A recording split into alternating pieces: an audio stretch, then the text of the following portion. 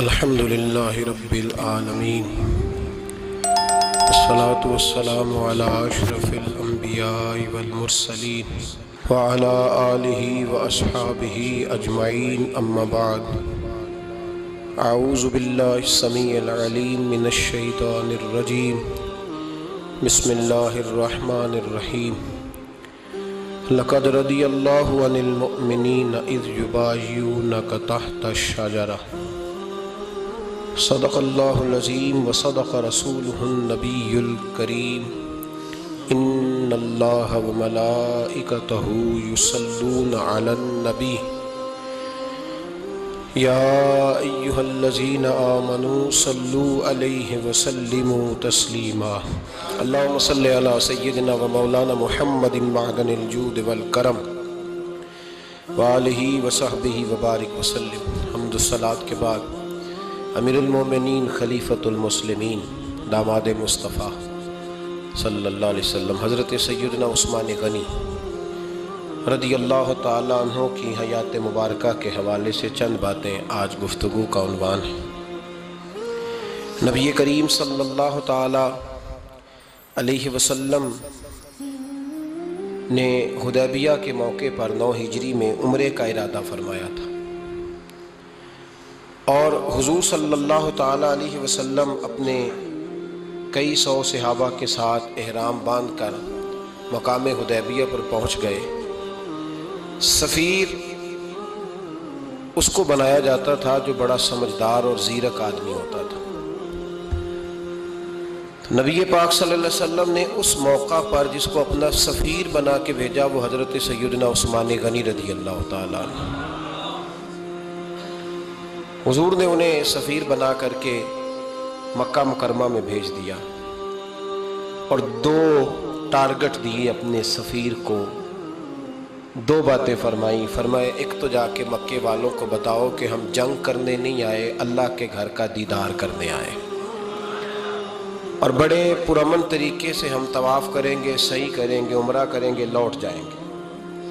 ये हमारा वाहिद एजेंडा है, इसके अलावा कोई प्रोग्राम नहीं है। और दूसरा, उन्हें ये बताओ, उन लोगों को जो एक ज़माने से मक्का मुकरमा में कुफार मक्का के जुल्म सह रहे हैं, हमारे वो ग़ुलाम जो यहाँ बड़ी तकलीफ़ में हैं, उनको ये ख़बर दे दो। उस्मान, उन्हें मेरा पैगाम दे देना कि अब तुम्हारी मुश्किलात के दिन थोड़े रह गए। अब बड़ी जल्दी अल्लाह तबारक व ताली दीन इस्लाम को फ़तह अता फरमा देगा। हज़रत उस्मान गनी तशरीफ़ ले गए। जब हज़रत उस्मान गनी वहाँ पहुँचे तो कुफार ने आपको रोक लिया। उन्होंने कहा कि आप रुकिए, देर हो गई। उधर अबू सुफियान ने हज़रत उस्मान गनी रदी अल्लाह तु को ये कहा कि हम नबी पाक सल्लल्लाहु अलैहि वसल्लम को और उनके सिहाबा को उमरा नहीं करने देंगे। आप अगर चाहें तो वो सामने बैतुल्ला शरीफ है, तवाफ़ करें, आब जमजम पिए, हजर असवद पे जाएँ, मकाम इब्राहिम पे जाएँ, सफ़ा मरवा करें, आप चाहें तो कर लें। तो हज़रत उस्मान गनी रदी अल्लाह तु फरमाने लगे, मैं तड़प रहा हूँ काबे के तवाफ़ के लिए लेकिन मैं बैतुल्ला का तवाफ़ उसी वक़्त करूँगा जब आगे आगे मुझे मेरे मुस्तफ़ा करीम नज़र आएँगे। सल्लल्लाहु अलैहि वसल्लम। लोग आज पूछते हैं कि बगैर मदीना शरीफ जाए हज मुकम्मल नहीं होता। मैंने कहा, मदीना शरीफ के बगैर हज हो जाता है, पर मदीने वाले के बगैर नहीं होता। इसलिए कि हुजूर ने फरमाया, सही मुस्लिम में खुजूवन्नी मनासिककुम, हज के तरीके मुझसे सीखो। अल्लाह ने तो कह दिया, हज करो। तफसील तो बताई नहीं। तो अब आपको हुजूर से सीखना पड़ेगा। मदीने के बगैर तो शायद हज हो जाए, पर मदीने वाले के बगैर हज नहीं होता। हज़रत उस्मान गनी रदी अल्लाह तने लगे, मैं तवाफ ज़रूर करूँगा, पर उस वक्त करूँगा जब मुझे हुजूर आगे आगे नज़र आएँगे। इधर एक शख्स ने हुजूर की बारगाह में भी कहा, अपनों का ना पता होता है। दिल बदस्तावर के हज अकबर अस्त जो दिल होते हैं ना, दिल को दिल से राह होती है। ये ये कई दफ़ा जिसम अलहदा होते हैं, पर ये इकट्ठे धड़क रहे होते हैं। तो दिल को दिल को राह रा होती है। अर्ज़ की, या रसूल अल्लाह सल्लल्लाहु उस्मान गनी तो तवाफ कर रहे होंगे, सफ़ा मरवा में होंगे, बड़ी मौज होगी, आब रमज़म खोल के पी रहे होंगे। हजूर ने सामने वाले का चेहरा गौर से देखा, फरमाया, उस्मान को तुम ज़्यादा जानते हो कि मैं ज़्यादा जानता हूँ? या रसोल्ला आप ही ज़्यादा जानते हैं। फरमाया, फिर फ़िक्र ना करो, उस्मान मेरे बगैर तवाफ़ नहीं करेगा। तो बात ख़त्म हो गई। मेरे बगैर उस्मान तवाफ़ नहीं करेगा। ख़त्म हो अब किसी ने अफवाह फैला दी हज़रत उस्मान गनी को शहीद कर दिया गया नबी पाक सलाम तक भी खबर आई। हुजूर जानते थे, हमारा दिल नहीं करता कोई इंतशारी बात करने को, लेकिन जब लोग करते हैं तो फिर दिल को तकलीफ़ होती है। अब यहाँ सबने लिखा है कि नबी पाक को खबर मिली हुजूर परेशान हुए सहाबा को मशवरे के लिए भी बुलाया, बैत रिजवान भी हुई, अगर इल्म गैब होता, ये सारा कुछ ना होता। और मैंने कहा, खुदा के बंदे, अगर हुजूर अपना इल्म गैब उस वक्त ज़ाहिर करते तो हज़रत उस्मान के लिए कुरान की आयतें ना नाजिल होती। इस बैत के तस्करे ना होते हर बात पे लोग माजल्ला अब देखिए ना, यहाँ ये जुमला छोड़ने की क्या ज़रूरत है? तुम कौन को क्या दे रहे हो? लोगों को क्या बता रहे हो कि नबी पाक सलाम अंधेरे में बैठ के फैसले कर रहे थे? क्या बता रहे आज इंटेलिजेंस की रिपोर्ट्स बता देती हैं कि वो फला किस तरह का माहौल है और आपने किस तरह करना है तो तुम्हें अपनी खुफिया एजेंसियों के मुताबिक तुम फैसला करो तो कहते हो, हम भाई अंधेरे में फैसला नहीं कर रहे, हमें रिपोर्ट है तो फैसला कर रहे हैं। और नबी पाक सलाम के बारे में तुम लोगों को ये बता रहे हो कि हुजूर अंधेरे में फैसला कर देते थे, पता ही नहीं था। किस तरह की बात करते हो? मेरे महबूब पाक सलात सलाम फरमाते हैं कि अल्लाह तबारक व ताली ने मुझे इस तरह का इल्म अता फरमाया है कि जो तुम्हारे जहन में हो, मुझसे पूछो, मैं फ़ौरन तुम्हें जवाब दूँगा। लेकिन लोग अड़ गए हैं, क्या किया जाए? और अजीब फलसफा है, यहाँ भी गिरा लगा दी, पता होता तो ये सारा, और मैंने कहा, खुदा के बंदे, अगर ये सारा कुछ ना होता तो फिर ये आयतें कैसे नाजल होती? फिर सुबह कयामत तक हज़रत उस्मान गनी की अजमतों का कैसे पता चलता? जब खबर मिली ना कि हज़रत उस्मान गनी को शहीद कर दिया गया तो हजूर ने सिहाबा को बुलाया, फरमाया, आओ मेरी बैत करो। हालाँकि बैत पहले हो चुकी। आओ दोबारा बैत करो। या रसूल अल्लाह किस चीज़ की बैत करनी है? तो नबी पाक ने फरमाया, मेरे हाथ पे बैत करो। क्या हम उस्मान गनी के खून का बदला लिए बगैर यहाँ से जाएँगे नहीं? हम उस्मान के खून का बदला लिए बगैर यहाँ से जाएँगे। और हवाला किसी ने देखना अलामा इसमाइल हकी का तो मैं दिखाऊँगा। जिस शख्स ने दौड़कर सबसे पहले नबी पाक की बैत की, वो मौला अली शेर खुदा थे। का यारसोल्ला जाने नहीं उस्मान का खून का बदला लिए बगैर। सबसे पहले शेर खुदा आगे बढ़े। आज लोग इन्हीं लोगों में इख्तलाफ दिखाने की कोशिश करते हैं, सही ला हासिल करते सबसे पहले दौड़कर हज़रत शेर खुदा आगे बढ़े का हजूर, मैं बैत करता हूँ। नबी पाक ने सियाबा के हाथों में बैत हो रही है। ये वो वाला वाक्य नहीं, जो उस चौक में पेश आया था। ये वो वाला वाक्य नहीं जो मेरे साथ हुआ था तो मैं आपको सुना रहा हूँ। ये वो वाला वाक्य है जो रब को इतना पसंद आया कि अल्लाह ने कुरान पाक में बयान फरमा दिया है। इसकी अहमियत का अंदाज़ा लगाया कि रब करीम को इतना महबूब है ये अंदाज के कुरान में बयान किया। एक दरख्त था, कांटों वाला दरख्त उसको शारहीन ने लिखा है। कुछ लोग कहते हैं बेरी का दरख्त था। नबी पाक दरख्त के नीचे बैठ गए, फरमाया, बैत करो सारे। किन के लिए बैत हो रही हज़रत उस्मान गनी के लिए? एक बैत दीन के लिए हुई, कुरान के लिए हुई, हदीस के लिए हुई, अल्लाह की तोहीद के लिए। और आज नए सिरे से बैत हो रही है। किसके लिए? बोल के बताइए। हज़रत सैदना उस्मान गनी रदी अल्लाह तला उस शख्स की अजमत का कोई अंदाज़ा कर सकता है? जिनके लिए नबी पाक ने खास करके तखसीस करके एज ए स्पेशल बैत ली और सियाबा ने जब बैत की तो अल्लाह को इतनी पसंद आई कि कुरान मदीद की सूरह फतह की आयत नंबर 18 में बयान किया। फरमाया, लकद रदी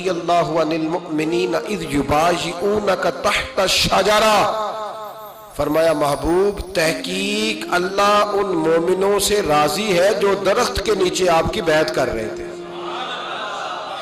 तहकीक अल्लाह उनसे राज़ी हुआ उन ईमान वालों से जो दरख्त के नीचे आपकी बैत कर रहे थे दरख्त के नीचे तहत शाजारा। कुरान मजीद के अल्फाज अगर आप गौर करेंगे तो आपको हज़रत उस्मान गनी की अजमत का पता चलेगा। और इस वाक्य की हसासीत की आपको समझ आएगी कि बैतें तो मस्जिद में भी हुई, लेकिन नाम लेके नहीं कहा महबूब जिन्होंने मस्जिद में बैत की। नाम लेके नहीं कहा, हालाँकि वो बहते भी अल्लाह को बड़ी महबूब है। बहते तो मेरे भाई नबी पाक ने बैतुल्ला शरीफ के पास भी की, मस्जिद नबी में भी की, लेकिन यहाँ नाम लेकर नाम लेकर कोई भूल ना जाए। किसी ने कह देना था, कोई और बैत थी जी, लोग शरा कर रहे हैं ना मर्ज़ी वो तो किसी और की बैत। नाम लेके का महबूब तहत शाजारा, वो जो दरख्त के नीचे बैत हुई, वो जो बैत दरख्त के नीचे हुई और जिन्होंने बैत की, लकद रदी अल्लाह तहकीक अल्लाह उन मोमिनों से राज़ी हो गया। अल्लाह उन मोमिनों से, सही बुखारी, सही मुस्लिम में शहाबा ने पूछा, यार सोल्ला अल्लाह किस तरह राज़ी हुआ है? फरमाया, आज जिस, जिसने मेरे हाथ पे बैत की है, रब करीम ने वादा कर लिया सबको जन्नत अता फरमाएगा। जन्नती हो गए सारे। हज़रत उस्मान गनी रदी अल्लाह तु की ये अजमत, ये शान, कुरान पाक ने बयान कर दी कि हज़रत उस्मान के नाम पर सहाबा जमा हुए। अल्लाह तबारक व ताली ने उस वाक़े का ज़िक्र कुरान मजीद में फरमा दिया। मेरे अज़ीज़ दोस्तों, हज़रत उस्मान गनी को अल्लाह ने बड़ी शान अता फरमाई, बड़ा मर्तबा दिया। बड़े हसीनो जमील, बड़े खूबसूरत आदमी थे। देखो ना, क्या शान है हज़रत उस्मान जिन्नूरैन। ये जुन्नूरैन का क्या माना है? दो नूर कौन है? हजूर की दो साहबजादियाँ। आला हज़रत फरमाते नूर की सरकार से पाया दोशाला नूर का। नूर की सरकार से पाया दुशाला नूर का, हो मुबारक तुझको जुन्नूरैन जोड़ा नूर का। दो नूरों वाले हज़रत उस्मानी गए एक बेटी का निकाह किया, वो विशाल कर गई तो महबूब ने दूसरी बेटी का भी निकाह कर दिया। ये जो बेचारे प्रापो गंडे वाले होते हैं ना, ये पहले दिन से सिर्फ़ प्रापो गंडे में ही है। ये ना मुहिब बन सके, ना महबूब बन सके। इनका इनका ना कोई अपना हुआ, ना इन्हें किसी ने अपनाया। ये प्रापोगंडे वाले ही हैं, सारी ज़िंदगी चैम गोइया, कानों में बातें। अपना अपना मिजाज है ना जी, जिसके हिस्से में जो ड्यूटी आई। कुछ लोग वहाँ भी मुनाफिकीन चैम गोइया करने लगे, दूसरी बेटी भी दे दी, दूसरी बेटी भी दे दी, दूसरी बेटी भी दे दी। महबूब के कानों तक आवाज़ गई, फरमाया, ज़्यादा बातें ना करो, मेरी चालीस भी होती। वह खत्म हो गई बात। तुम दो तीन की बात करते हो, हदीस मुबारक के लफ्ज है। नबी पाक ने फरमाया मेरी चालीस भी होती एक के बाद दूसरी इंतकाल करती रहती मैं सारी उस्मान को दे देता। हाथ हो गई भाई इतना बड़ा मर्तबा?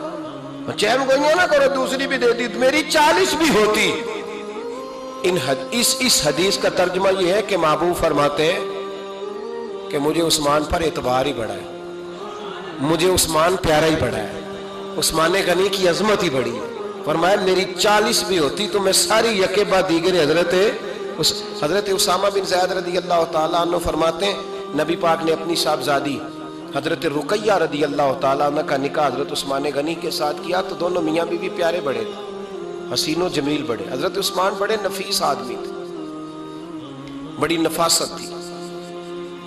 कपड़ा सादा पहनते थे, लेकिन लोग कहते हैं, कभी हमने उनके कपड़ों पर धब्बा नहीं देखा। चेहरे पर इतना सा गर्द का निशान नहीं देखा। हमारे मुल्क में सबसे ज़्यादा खर्चा मेकअप का आता है। पता है आपको? जी। अब अगली जो बात करनी है, उस पर अपने आप को वक्त कितना देते हो? सजने में, सवरने में, तैयार होने में कितना वक्त लगाते हो? फरमाने लगे तो उस्माने का नहीं, इतना तो टाइम ही नहीं है कि अपने आप को दिया जाए। तो कबर इतने प्यारे कैसे लगते हो? फरमाने लगे, अपनी वजह से नहीं लगता, हुजूर की वजह से प्यारा लगता।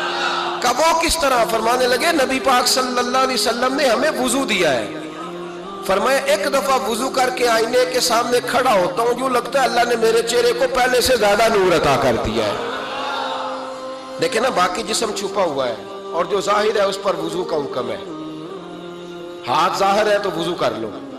पैर पर्दे पैर पर्दे से बाहर है तो उनको धो लो वज़ू में। चेहरा पर्दे से, कपड़ों से बाहर है तो इसको वज़ू में उस्मान नहीं फरमाते, पाँच वज़ू तो मैं ताज़ा करता हूँ, पिछला हो भी तो नई नमाज़ ताज़े वज़ू से पढ़ता हूँ। और फरमाते, अगर मेरा कुरान मजीद खोलने का इरादा बन जाए तो फिर वज़ू छः भी हो जाते हैं। और तहजद के वक्त उठूँ तो सात भी हो जाते हैं। फरमाते, अलहदा से दरूद पाक पढ़ने बैठूँ तो फिर दस, ग्यारह वज़ू भी हो जाते हैं। मैं वज़ू करता रहता हूँ तो अल्लाह ताजगी अता कर देता है।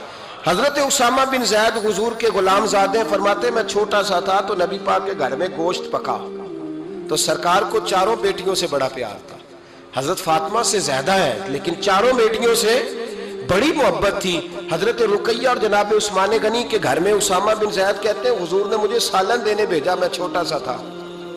और अभी पर्दे की आयतें भी नहीं आई थी, हुक्म भी नहीं आया था। कहते, मैं सालन देने गया, वापस आया।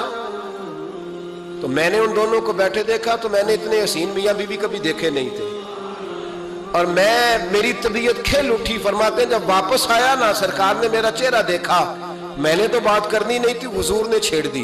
फरमाया, मेरी बेटी और दामाद को देख के आए हो? यारसुल्ला देखा, देख आया हूँ। फरमाया, ऐसा हसीन जोड़ा दुनिया में कभी देखा है? कर यारसुल्ला, अल्लाह की इज़्ज़त की कसम कभी देखा ही नहीं। ये जाहिरी हुसन अल्लाह ने हज़रत सैदना उस्मान गनी रदी अल्लाह तहो को अता एक बात मेरी याद रखना। हुसन ज़ाहिर का नहीं होता। हुसन ज़ाहिर का नहीं होता।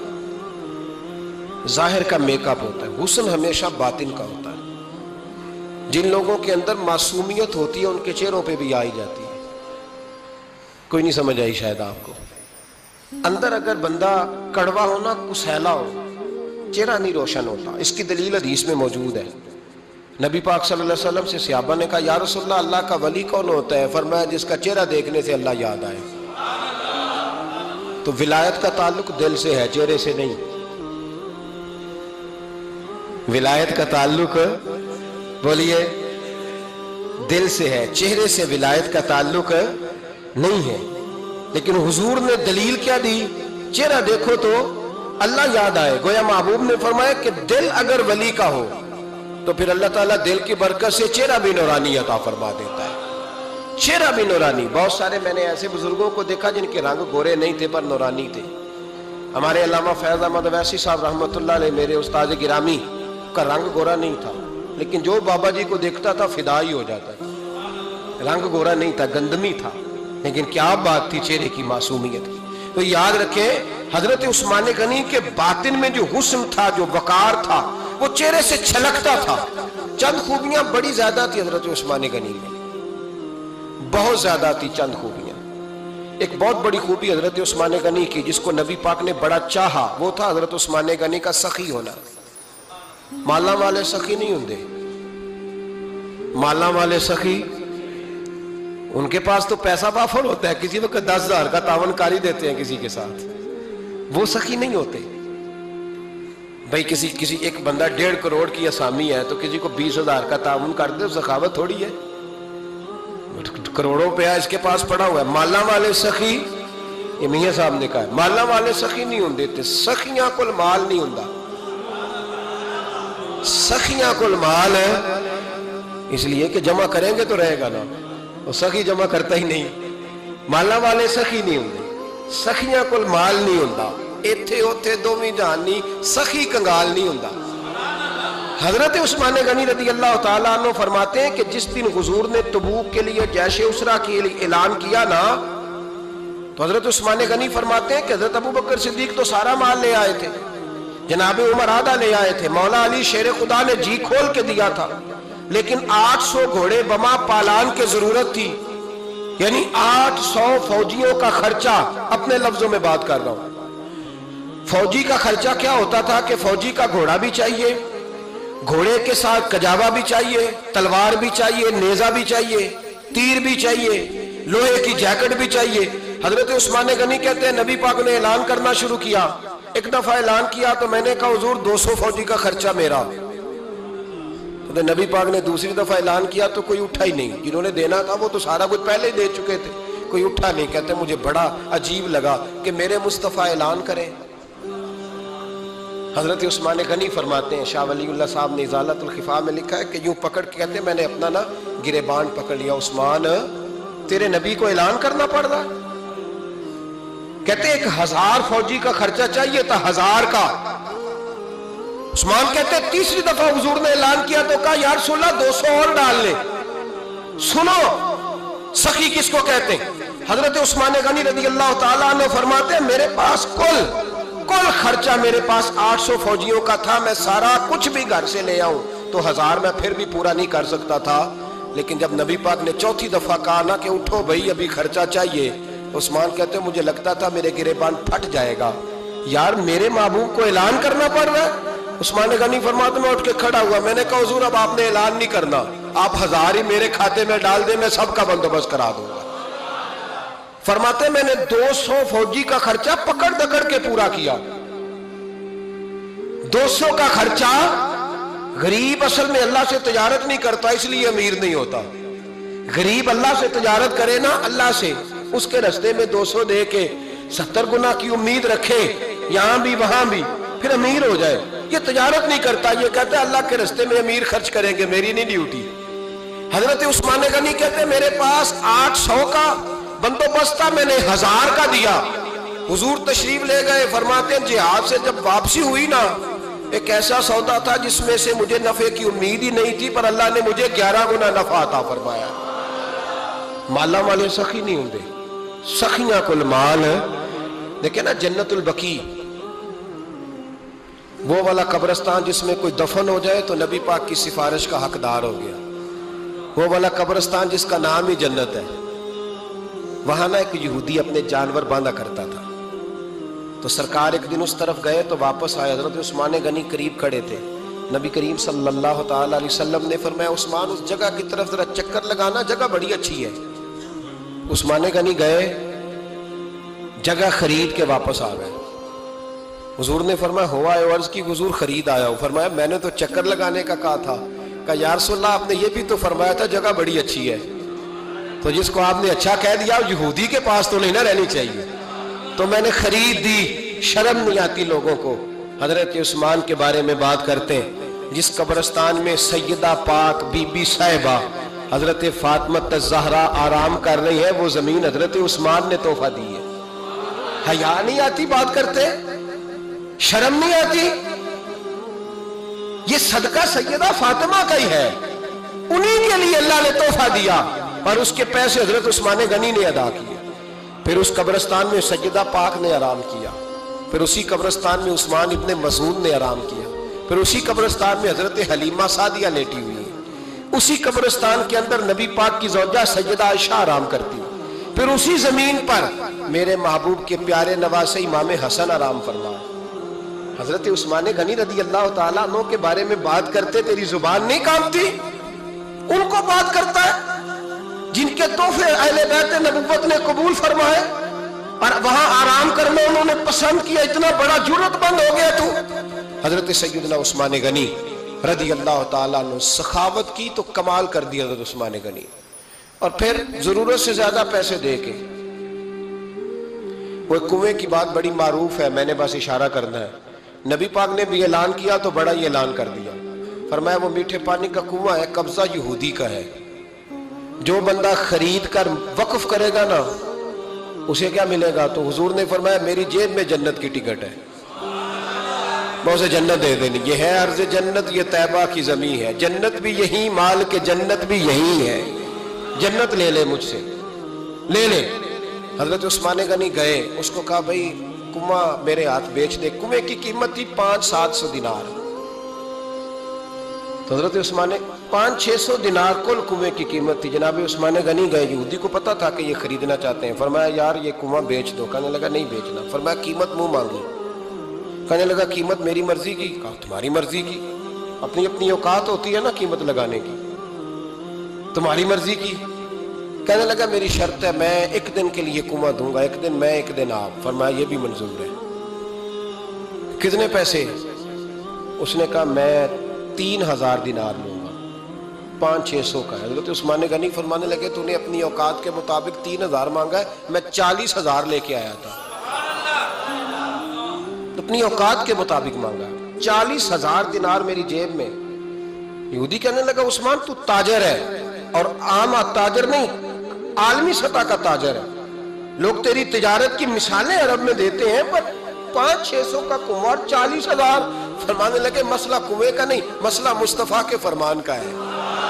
वो जो हजूर का फरमान पूरा करना है ना, उसके लिए चालीस हज़ार थोड़े हैं। मेरे पास थे ही इतने जो लेके आया हूँ। हज़रत उस्मान ने पैसे चुकाए, उसने कहा, एक दिन पानी मिलेगा। पर मैं मंजूर है। वो एक दिन बेचा करता था पानी। हज़रत उस्मान ने ऐलान कर दिया, जो मेरा दिन है ना, फ्री पियो। अपने भी पियो बेगाने का ऐलान कोई नहीं करना। मेरा कोई प्रोग्राम नहीं। लेकिन आप मतलब हल्का हल्का ऐसे ऐसे देखेंगे, सोचेंगे, गौर करेंगे, ओ भाई, पैसा भी बांटने से आ, चलो बोलो तो सही ना। इस पर भी आप हामी तो भरे ना, सच्ची बात कर तो लेनी चाहिए ना। चले, अमर आप दो साल के बाद कर लेना, छह साल के बाद कर लेना, पर हाँ ना तो सही करे ना। पैसा भी हमेशा बांटने से, मुल्ला रूमी रहमतुल्लाह ने फरमाते, कुएँ से सादा पानी निकल जाए तो ताज़ा आ जाता है। और अगर पानी कुएँ के अंदर रहे, सारा खत्म ना हो तो बासी हो जाता है। इसलिए फरमाया करते थे, मैं उस कुएँ से पानी पीता हूँ जिसमें रश ज़्यादा होता है। देखिए, वहाँ से पानी खत्म होता है तो ताज़ा आता रहता है। फरमाते, तू अल्लाह के रस्ते में सारा खर्च कर दे, अल्लाह ताजे अता कर देगा और पहले से ज़्यादा अता कर देगा। मेरा आपका मसला यह है कि तजारत बंदों के साथ है। बंदों के साथ जो तजारत है ना, बंदे कंजूसी कर जाते हैं। बंदे का तो सही काम चल जाए तो पार्टनर को फारग कर देता है। यह तो फारग है। और अगर कभी किसी की दुकान में कोई किराएदार अच्छा उसकी दुकान चल जाए तो मालिक कहता है, तू जा, अब दुकान मैंने खुद खोलनी है। वो फारिग कर देता है। बंदों का तो मिजाज और अल्लाह तबारक का ताला से जब तजारत होती है ना, मैंने ऐसे लोग देखे जिनके घरों में लाखों रुपया महाना आता है। गुर्बत नहीं जाती। उनको सोचना चाहिए कि कसरत वाला पैसा आया है, पर बरकत वाला नहीं आया। हज़रत उस्मान गनी रदी अल्लाह तु फरमाते हैं कि मैंने पहले भी मैं बड़ा ताजर था, लेकिन जब से मुस्तफ़ा के नाम पर खर्च करना शुरू किया, फिर कहाँ कहाँ से आया, कब? और बड़ी सियानी बात फरमाते हैं। आप फरमाते हैं, मैं कलमा पढ़ने से पहले तजारत को वक्त ज़्यादा देता था। और मुसलमान होने के बाद मैंने तजारत को टाइम थोड़ा दिया पर अल्लाह ने रोजी मुझे ज़्यादा अता फरमाई। इसलिए बरकत पर हमारी तवज्जो नहीं रही, गैबी खजानों पर ख्याल हमने छोड़ दिया है। गैबी खजानों से जो चीज़ मिलती है, वो ज़्यादा मिलती है। जो मादी जराए से मिलती है, वो चीज़ कम होती हज़रत उस्मान गनी पर इल्ज़ाम लगा जब आपका दौरे हुकूमत था। ये याद रखें कि सबसे ज़्यादा इल्ज़ाम हज़रत उस्मान गनी पर लगाए गए जिन बंदों के कद काट ज़्यादा होते हैं, उनके खिलाफ प्रोपोगंडे भी लंबे चौड़े ही होते हैं। बड़ी बड़ी याद, बात याद रखना कहा गया कि हज़रत उस्मान लोगों को नवाजते है बड़ा देते हैं हज़रत उस्मान गनी। तो उस्मान गनी फरमाया करते थे हुक्मरान तो मैं आज बना हूँ तो मैं तो पहले भी बड़ा देता था, वो किस खजाने से देता था? आप जवाब दिया कर देखे जरा, लाखों लोग हज करने आते थे, पर हज़रत उस्मान गनी हज करने जाते तो ऐलान कर देते कि कोई हाजी, हज के मौके पर आके खाना ना पकाए, सबको खाना उस्मान गनी अपनी जेब से दिया करे। मिना में लंगर खाना होता था, हज़रत उस्मान गनी का मिना में, फरमाते थे, खाओ हाजियो, जितना खा सकते और फिर हज़रत उस्मान गनी का ऐलान था? खुदाम को कहते थे, मैं आखिर में खाऊँगा। पहले मेरे सारे आने वाले हाजियों को खिलाया जाए। एक मुझसे ना एक दोस्त ने सवाल पूछा, चार पाँच दिनों गए। कुछ सवाल ऐसे होते हैं जो बंदे को ना चुराहे पे ला के खड़ा कर देते हैं। ज़िंदगी में ना भूलने वाले सवाल होते एक शख्स ने सवाल पूछा, कहने लगा औकाड़ दीनी और मजहबी घराना है। औकाड़े से ताल्लुक है। मेरे साथ मोहब्बत का रिश्ता है। कहने लगे, बेटी की शादी कर दी है रावलपिंडी में। आपकी भी बेटियाँ हैं, मेरी भी बेटी है। बेटी की शादी कर दी है रावलपिंडी में। अब बच्ची चंद दिन रहने आई है। पूछना यह है कि नमाज़ पूरी पड़ेगी कि कसर पड़ेगी? तो मेरा तो उसने काम कर दिया। हाथ धो गई। रो रो के बुरा मैंने कहा, यार, तू बंद कर दे फ़ोन, रात को बताऊँगा। क्या पूछ लिया यार तूने? बेटी बेटी मुसाफिर नहीं होती। बेटी तो महारानी होती है बाप के घर की। तो बेटी मतलब कैसे बताऊँ कि दिल करता है कि बेटी, वो सिर्फ़ हंसे, वो रोए कभी ना। ये दुआ होती है तो तूने इतना बड़ा सवाल क्यों किया? महाराज, उलमा को कुछ चीज़ों के जवाब देने पड़ते हैं। मैंने कहा, मैं रात को बताऊँगा। रात को फिर फ़ोन आया कि आप वो बड़ी जल्दी जवाब देने के आदि हैं तो देर क्यों कर दी? तो मैंने कहा, यार, जवाब तो मेरे पास था, लेकिन हिम्मत नहीं थी अभी। तो मैंने कहा कि अगर तो बेटी आई है वालिद के घर में और अब्बा जी का प्रोग्राम है उसे जायदाद में से हिस्सा देने का तो फिर तो बेटी नमाज़ पूरी पड़ेगी लेकिन अगर अब्बा जी ने अलहदा करके अंगूठा लगवाना है तो फिर बेटी मुसाफर है। अगर अब्बा जी ने उसको अलहदा करके अंगूठा लगवाना है ना, कि दे दे भाइयों को, खैर है, तेरी शादी पे खर्चा कर दिया है। अगर अब्बा जी के दिल में, मैंने कहा, ये अब्बे से फतवा पूछ लो। अगर अब्बा जी के दिल में चोर है ना, कि बेटी को देना कुछ नहीं तो फिर बेटी ने नमाज़ कसर पड़नी है। इसलिए कि फिर वो वहाँ हिस्सेदार, उसकी दलील हज़रत उस्मान गनी रदी अल्लाह तु हज के लिए तशरीफ़ ले गए। तो लोगों ने हज़रत उस्मान गनी से कहा कि नबी पाक भी कसर नमाज़ पढ़ते थे। हज़रत उमर भी हज के मौके पर कसर पढ़ते थे तबू बकर भी। आप क्यों पूरी पढ़ते? फरमाया, उनका मक्के में घर कोई नहीं था, मेरे तो पूरे के पूरे बाग हैं। तो मैं यहाँ मुसाफिर नहीं हूँ, मैं यहाँ मुकीम हूँ। तो अगर तो बेटी का हिस्सा भी है अब्बा जी के घर में तो फिर वो नमाज़ पूरी पड़ेगी लेकिन अगर अब्बा जी ने अल्लाह ताला खैर फरमाए, बेटों के हक में फैसला सुना दिया है और उन्होंने बेटी से कह दिया है कि छोड़, जो बेटियाँ हिस्सा लेती हैं, उनके भाई नहीं मिलते तो ना मिले भाई। कोई अर्ज़ नहीं। ज़रूरी है सालम भाइयों से रबता रखना, जो खा जाए बहनों का हिस्सा। वालिद जालिम है जालिम जालिम है बाप। बेटे को हिस्सा देता है, बेटी को नहीं देता। और ये डेढ़ मुरब्बे वाले जागीरदार की बात नहीं कर रहा जिसका चार मरले का मकान है, उसकी बेटी का भी हिस्सा बनता है। क्यों खाते हो बेटियों का हिस्सा? डर नहीं आता अल्लाह ताला से? क्यों खाते हैं लोग बेटियों का हिस्सा? जब अल्लाह रसूल ने रखा है तो क्यों खा जाते? और फिर कहते हैं, जनाब, बड़ा प्यार है बेटी से। रोने धोने के लिए प्यार है। तो याद रखें, हज़रत उस्मान गनी रदी अल्लाह तला का लंगर चलता था। तो मेरे भाई, एक और बहुत बड़ी खूबी हज़रत उस्मान गनी की। तीसरी, वो ये थी कि आप में अल्लाह ने बहुत ज़्यादा हया रखी थी। आज ना, अगर आप नाराज़ ना हो तो हमारी हुकूमतों में जो बदतमीज ज़्यादा होता है, उसका अहदा ज़्यादा होता है।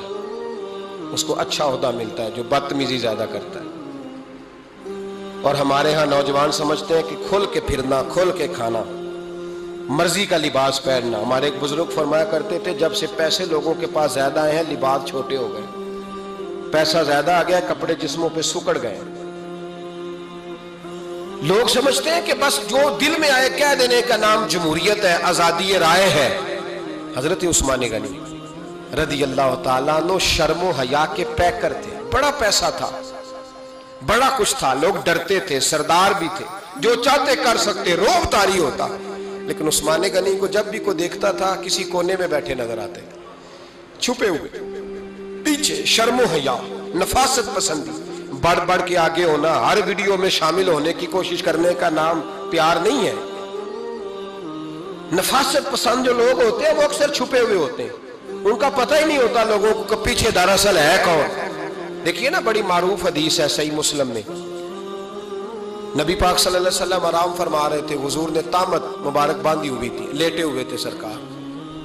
तो सर, जब आदमी लेटते थे ना, हमारे बुज़ुर्ग भी जब लेटते हैं तो तामत को समेटा करते थे तो घुटनों तक आ जाती। देखा ना आपने? घुटनों तक तामत आ जाती जब लेटते। तो सरकार भी लेटे थे, पर्दे की अभी आयतें नहीं आई थी। दरवाजे पे दस्तक हुई। हज़रत आयशा सिद्दीक अर्ज़ करने लगे, यार सुल्ला मेरे अब्बा जान जनाब अबू बकर सिद्दीक आए। हुजूर ने फरमाया, बुला लो। हज़रत आयशा कहती हैं, वो आके बैठ गए, हुजूर लेटे रहे। फिर दस्तक हुई, अब कौन है? का सैदना फारूक आज़म। कायशा आप साथ वाले उजरे में चली जाओ। अम्मा जी वहाँ चली गई। थोड़ी देर के बाद हज़रत उमर आए, हुजूर लेटे रहे। जनाब आयशा कहती है, फिर दस्तक हुई। अब कौन है? फरमाया उस्मान गनी। नबी करीम ने फरमाया, उसे कहो, जरा ठहर जाए। हज़रत उस्मान ठहरे तो हुजूर उठ के बैठे। तहमद मुबारक को ठीक किया। फिर अपने कुर्ते मुबारक को सीधा किया। फिर दस्तार को सीधा किया। फरमाया, अब बुलाओ उस्मान गनी हालाँकि जाहो जलाल हज़रत उमर का ज़्यादा है। हालाँकि वकार, मकाम हज़रत सिद्दीक अकबर का ज़्यादा है। अब बुलाओ उस्मान गनी को।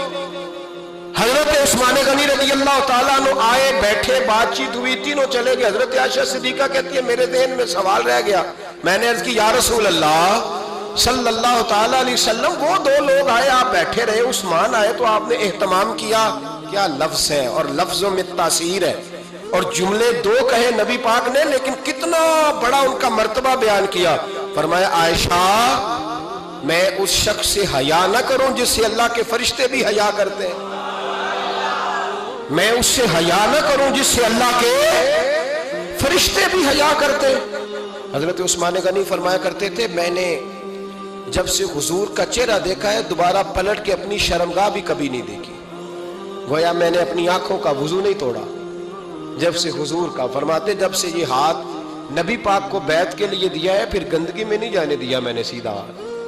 हज़रत उस्मान गनी फरमाया करते थे, मैं अपने घर के अंदर, अपने गुसल खाने में चार दीवारी के अंदर भी कपड़ों समेत गुसल करता हूँ। मुझे हयात यह गुसल खाने में भी कपड़े और सुनो, एक और बड़ी बात, अहम। आप फरमाया करते थे, मेरी जो महरम औरतें हैं ना, महरम पुप्पी खाला, मेरी जो महरम औरतें हैं। फरमाया करते थे, मैंने कभी उनके भी चेहरे आँख भर के नहीं देखे। उनके भी चेहरे कभी मैंने आँख भर के नहीं देखे। जो मेरी महरम औरतें हैं पुप्पी खाला, फरमाते थे उनसे भी जब बात करता हूँ तो मैं चेहरा झुका के। हमारे यहाँ तो कज़न कज़न एक दूसरे से सलाम लेते हैं, लड़कियाँ, लड़के।